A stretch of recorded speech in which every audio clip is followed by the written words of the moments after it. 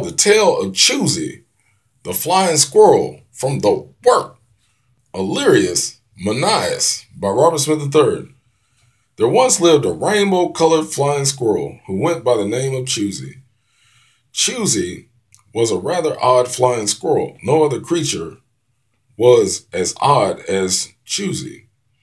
For if Choosy had a choice to make, it was always a hard decision indeed. For Choosy was extremely picky. Choosy was extremely picky indeed. Anyway, one day came along when Choosy decided uh, to have a choice to make. When he was flying through the rainbow forest and came upon the rainbow lake. And there at the lake, the rainbow lake did speak indeed, for it was a magical lake, a magical lake indeed. And when the lake spoke, the lake spoke of a promise of how Choosy would be gigantic and mighty, and powerful too is what the lake promised. And the lake spoke again, saying, Jump in this lake, and truly I tell you, you will find.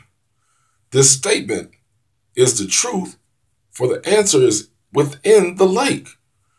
And for the first time ever, Choosy was not picky about the choice he had to make.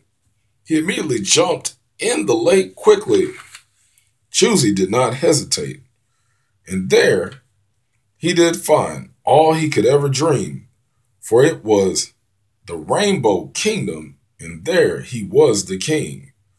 And there Choosy stayed, living there forever and evermore, ruling as the king of the Rainbow Kingdom forever and evermore.